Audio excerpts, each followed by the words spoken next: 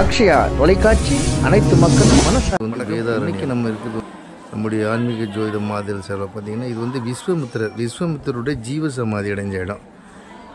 வேதாரண்யம் அப்படிங்கிற இடத்துல தான் வந்து விஸ்வமித்திரர் ஜீவ சமாதி அடைஞ்சிருக்காரு.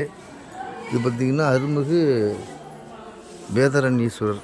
இந்த ஆலயத்தில் பார்த்திங்கன்னா சிவன் வந்து திருமண கோலத்தில் காட்சி கொடுத்துருப்பாரு. ரெண்டாயிரம் ஆண்டுகளை தாண்டிய இந்த ஆலயங்கள். பல்வேறு மன்னர்களாக கட்டப்பட்டிருக்கு. இப்போ பார்த்தீங்கன்னா இந்த ஜீவசமாதி விஸ்வமுத்தரோட ஜீவசமாதி வந்து இங்கே தான் இருக்குது உலகத்திலே. நம்ம அதை பற்றி பேசுவோம். இதுதான் வன்னி மரம். வேதாரணி வந்து திருஞான சம்பந்தரால் பாடப்பட்ட திருமறைக்காடு அப்படின்னு சொல்லுவாங்க. திருமறைக்காடு அப்படிங்கிறது வந்து புராணத்தோட பேருங்க. இந்த வேதாரணி ஆலயத்துக்கு பார்த்தீங்கன்னா உலகத்தில் அதிகமான ஒரு நிலம் உள்ள ஒரே ஒரு ஆலயம் வந்து வேதாரண்ய சுவாமி பல்லாயிரம் ஏக்கர் நிலங்களை கொண்ட இந்த திருத்தலம். திருஞான சம்பந்தரால் பாடப்பட்டது. இங்கே தான் வந்து அஹ், விஸ்வமுத்தருடைய நேரடி ஜீவசமாதி இங்கே தான் வந்து அவர் வந்து ஜீவசமாதி அடைந்த இடம். இது வந்து அனைத்து தேவர்களாலும் முனிவர்களாலும் உருவாக்கப்பட்ட ஸ்தலம்.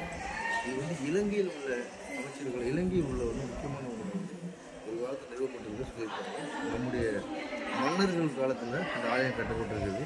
இந்தியாவிலேயே அதிக சொத்து உள்ள ஆலயம் இது. இங்கே தான் வந்து திருமறை காட்டில் தான் இது வந்து பார்த்திங்கன்னா விஸ்வமுத்திர சுவாமிகள் வந்து ஜீவசமாதி அடைஞ்சிருக்காங்க இந்த ஜீவசமாதி அடைஞ்ச இடத்துல பார்த்தீங்கன்னா யாரெல்லாம் வந்து இங்கே வந்து இந்த இங்கே வந்து வணங்கலாமோ?